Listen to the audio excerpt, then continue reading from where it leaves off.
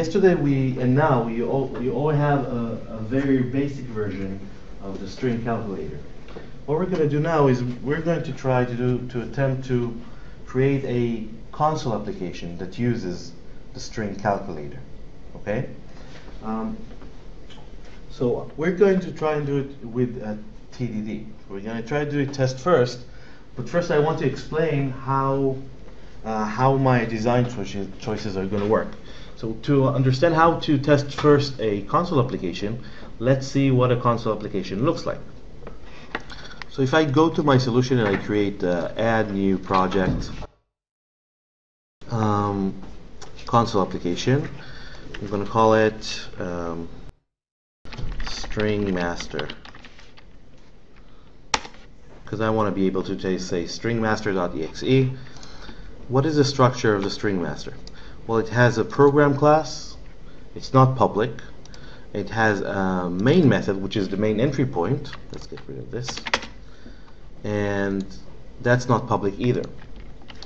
Now, if I want to test drive giving inputs to a console application, instead of creating a new process, etc., I can simply use in-memory calls from my unit tests to actually call this method, the main method. So if I wanted to try and do this, so let's say I would create a new uh, class here, and I'd call it, usually I'd put this class in a separate project called uh, string master tests, or string master unit tests. In fact, you know what, let's do that. Uh, add new project, class library, string master dot unit tests.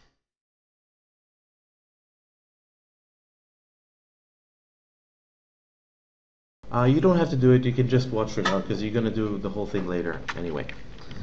For now, it's important that you just get the concept and the idea of uh, what do I, what's optional and what, what can I actually change to make things more testable. I'll just rename this class um, and since what I'm going to test is program, the program class, I'm going to say program tests. Um, also, let's set the um, NuGet package. So package manager console, install package NUnit.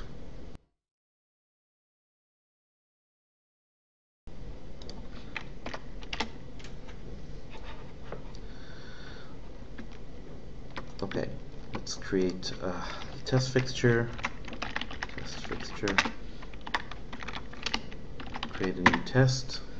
Um, now in this test, the unit of work is main, because that's the main static method, because that's my entry point, and I'm not going to expect to do anything else but just call the entry point and then check that there was some kind of output to the screen.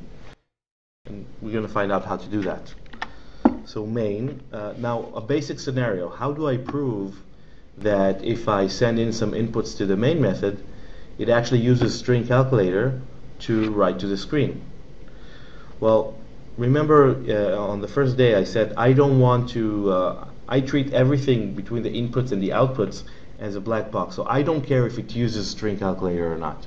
I just care that something was written to the console. That is the result. And then I'll just hook up all the internal stuff to make the result happen. Um, so I can say uh, two numbers and writes their sum to the console. Console. Uh, writes is uh, maybe it's not right, but it uh, calls the console with their sum. The reason I'm using the word calls here is because I can't really use the real console. I'm not going to test this visually.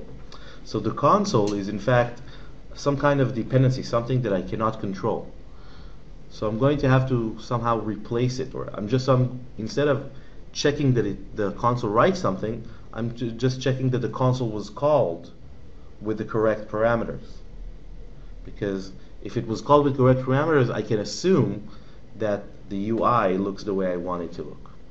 Because I don't have control of the UI. I can just replace it with something else. So I use the word calls to, to say that there is that the end result is a call to an external system instead of just returns something or throws an exception or changes state. Now it's a call to an external system that's beyond my control, which is a user interface of some sort. Now, if I wanted to just call main, if I just say program, um, there's no such thing because program is not public. If I go to program, I can actually make it public. And personally, I don't have any program in uh, pro problem in making program public because it's an entry point anyway. It's not like uh, it has to be hidden. It's a console application. Now, if I go here, ReSharper will tell me, hey, do you want to just reference and use program? I'm going to say yes. But now, main is not public either. So I'm going to make it public to make it more visible. So I can actually invoke it. Now again, because this is an entry point, it shouldn't be a problem at all. It's an entry point, so anyone should be able to invoke it. It just wasn't currently meant for uh, the use of unit tests, so I'm just making it usable by unit tests. But in other cases where I make things public, maybe it's more of a security risk. Maybe there's a problem there. And in that case, maybe in terms of design, um, um, I can choose to make things public because I think it's a better design. Or if I think it's not a good design to make it public, but for testability I want it to be, I can put it uh, uh, inside, um, uh, uh, what do you call these? If, like debug, or if test, like this, and if. So now only during my tests will this thing be public and callable. So I can put things in um, in compiler flags if I wanted to hide them. Another possibility, if I wanted to make things unhidden, is to not make them public, but make them internal. Now, internal means that it's public only to the current assembly, but I can also add a special attribute in the um, in the properties of the project inside assembly info cs and kind of say this. Assembly dot internals visible to um, my test assembly whatever the name of the assembly is and assuming that nothing is strongly named it, this should be enough and then it will look public to a specific assembly because it's been friended um, if you have um, an assembly that has been uh, strongly named, then you're going to have to put the strong, uh, the public key. So it looks a bit weird. It's a bit long to generate, but it's still at the end of the day just a string that you put in this attribute, and, and suddenly anything that's internal becomes public to that assembly. So you have ways around this if you still want to keep things hidden. For us, right now, it doesn't make any, any sense not to just make it public. So if I go back to my tests now, program.main, I can now simply in memory invoke uh, this uh, function. So I can say a new string with the value of 1 and 2. Okay? In fact, I don't even need this. So now I'm able to send an input into my console application in memory, and it's fully under my control. But how do I know that something was written or something was calling the console application? If I wanted to replace the console application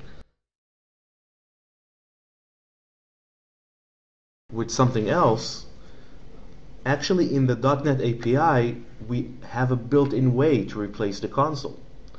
Now I'm not sure why this API exists, but probably because someone wanted to test it at the Microsoft headquarters as they wrote the thing.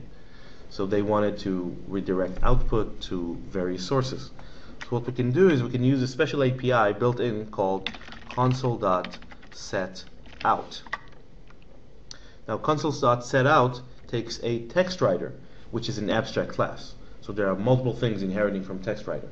So how do I know which one I, I can send? what are all the things inheriting from text, TextWriter?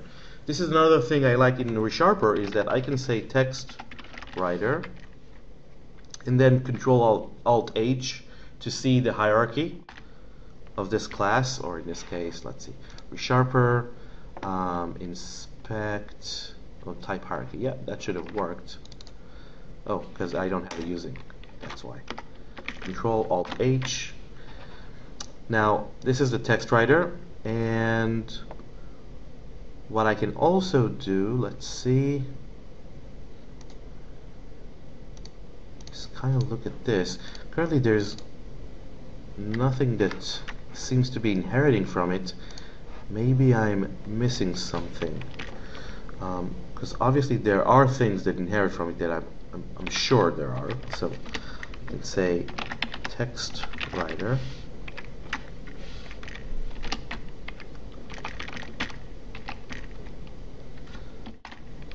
Hmm interesting. I'm not sure why.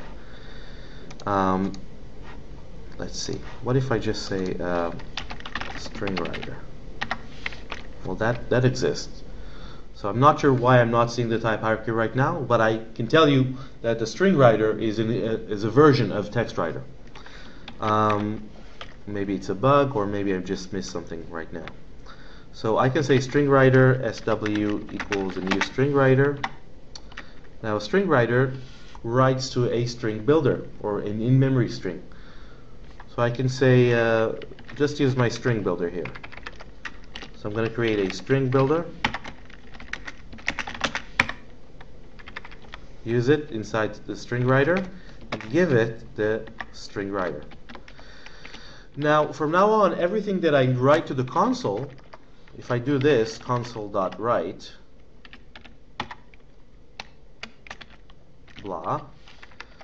my string builder is going to contain that string. The console is actually not going to be written at all. The output has been redirected.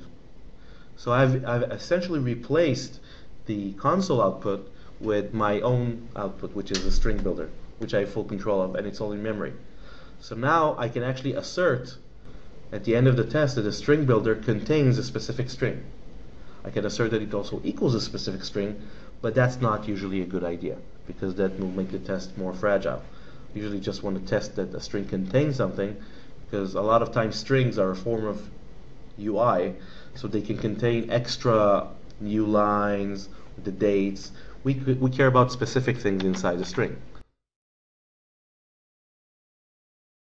So instead of this, I'm going to say we call it with main but before that we replace because otherwise if I replace it after the call after the act it's not going to be written to. Then we can assert and if I wanted to assert on strings there is a, a, a special class I can use built into NUnit it's called string assert. It's built into NUnit I can say string assert and I can use contains or ends with or matches a regular expression. So string assert contains um, 3 from the uh, string builder dot to string. Okay, I can also rename it to uh, let's say fake output. Maybe that's a better name. Okay? So that's an example of how I can take control of a console output and actually use it as a, as a test-driven mechanism to, to prove that something should be done. Now currently, if I run this test, it's going to fail. And I want you to get to this stage where the, you, this test actually fails and make it pass as simply as possible. But in this case, what we're doing is we're not going to just use, say, return 3, because what we want, the purpose of this, is to connect two layers together. The purpose is to connect the string calculator layer, which we build separately and in test driven, into one layer up, which is this layer. And we can just have a couple of tests that prove that the layer works. We don't have to write all the tests for string calculator again. What we're testing is that we can shoot one thing into uh, the input and we get back another thing in the output and we assume that everything is actually connected because of that we, we, it's okay to have some knowledge about the architecture, but we don't have to care that it calls a specific string calculator class. Okay? Questions? Okay, so we're gonna split into uh, a, a pair, but it's gonna have to be different. So um, today you guys can uh, can pair up, and you, you'll be working alone today, and tomorrow we're gonna switch again. Okay?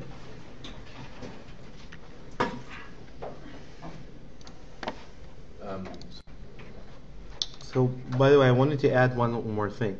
In terms of refactoring, to make this test, I wouldn't do all these three lines in the test. What I would do is, after the test would pass, is I would refactor something like this. Extract a method, call it um, replace console.